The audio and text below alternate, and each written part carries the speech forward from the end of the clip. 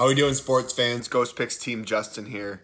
Uh, yesterday was a day that I just honestly want to forget even happened. Um, I got rocked. Uh, it wasn't good. I, everything that could have gone wrong and it, the things that I thought thought were going to happen, it just it just wasn't accurate at all. Uh, frustrated to say the least, and nothing more than wanting to bounce back today. And, and you look and you have two options, and uh, to be honest, neither one of them is a really a really good day to for NHL hockey, to be honest. So uh, we're gonna go through what happened yesterday. Um, starting off with a small play early in the day. Uh, three units we had on the Buffalo Sabres versus uh, Penguins over six and a half goals. And I was looking at the line. I'm like, man, this this seems it opened at six. I was like, that's kind of that's kind of odd. And I was like looking at who's going to be in net. Uh, and we had a couple goalies that just have not one goalie hadn't even played today. I couldn't even tell you his name to be honest. He, I know I looked did some research on him. He played for Vegas for a little bit. I'm kind of a journeyman in the NHL. Never really had more than a, a game or two in a season. Uh, kind of in the past has been lit up. Uh, I know I saw a couple couple games he gave up more than four goals, and then you look at Houser in Buffalo. You know, just not not good goalies. And then you look at Buffalo, Pittsburgh. Both teams have been putting up a lot of points lately. Um, in a game that Pittsburgh actually needed to win because they want to lock in uh, the East, and I was wrong. Uh, it was just an absolute snooze fest. Uh, one nothing game. Haven't seen these teams play defense almost all year. Besides uh, when Pittsburgh played Buffalo, I mean when Pittsburgh played the Bruins, and it was like a playoff atmosphere. And this game was just no chances, decent goaltending, and it, it was one nothing. I mean, doesn't get much more embarrassing than that, if I'm being honest. Uh, that was a rough game for us. And then also we looked at uh, we took Tampa Bay uh, taking on Florida in what seemed to be kind of a preview for the first round in the Central for the two three seed. And you know, looking at it, I originally was looking. I kind of liked Florida. Um, Tampa Bay was coming off a back to back. However, you look at some of the injuries that they had. Uh, Verhaeghe and Hornqvist were both kind of ruled out. They said if it was a playoff game, they would have played. It was leading me to think that maybe Florida was content, like you know they're going to be the three seed to Tampa. And I thought Tampa Bay, coming off a kind of a bad loss to Dallas, would kind of respond and play pretty hard, and they just they didn't even show up. Florida jumped all over them, um, and they just kind of beat them down early.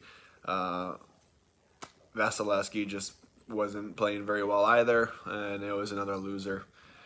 And then we get to our final play in baseball that we had. Uh, we took the St. Louis Cardinals run line versus the Colorado Rockies, and that was just unbearable to watch. Um, Cardinals looked good. They had a huge lead twice in that game, and both times Colorado came right back.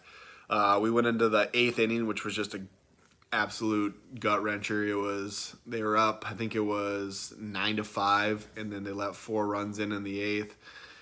And then I thought they were going to counter there. They had the bases loaded with no outs, and they couldn't produce a run, and they win by one. You know, and that's just the way your days go sometimes, and that's what we had.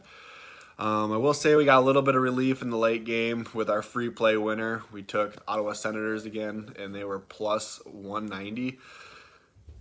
I'm glad we got that for everybody that's on the free play, but for everyone who was on my package, you know, I'm sorry. We're going to be better. Uh, Monday looks really good for a card, I would say, um, but today it's just it's just not there for a card. Um, I am going to put a small play out, and it's going to be my free play as well.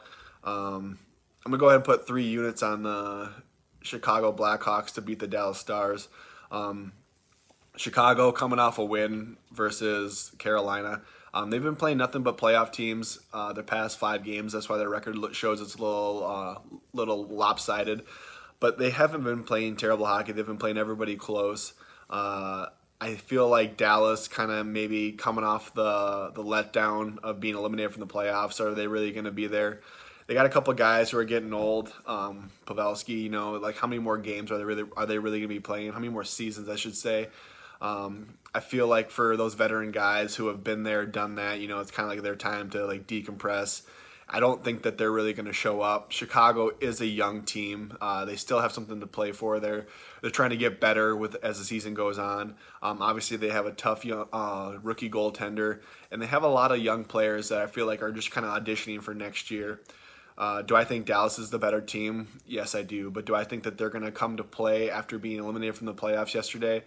I really don't. Um, and with the plus money there, I think it's plus 150 right now for Chicago. I think I would put a small unit play on Chicago today. And like I said, that's going to be my only play. I might look into the Calgary uh, Senators matchup, but it's hard for me to do that right now because I know that the Sens are probably they're a hot team. I mean, you can't get me wrong. I I was surprised to get them at the at the plus money we did yesterday.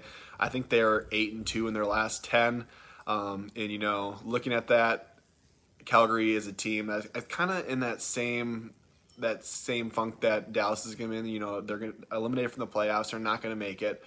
Um, what do they have to play for? I think they're traditionally a better team than the Sens, um, but the Sens are hot, so it's something to watch. Um, but like I said, I'm going with the Chicago Blackhawks today.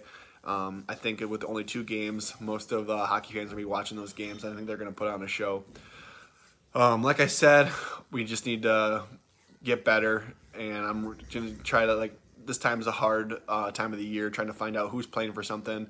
And it, I'm just ready for playoff hockey, where the games matter for everybody, and you're gonna get their best effort every single night. Um, but with that being said, I do like the Blackhawks tonight. So good luck, God bless, grind on, and let's go.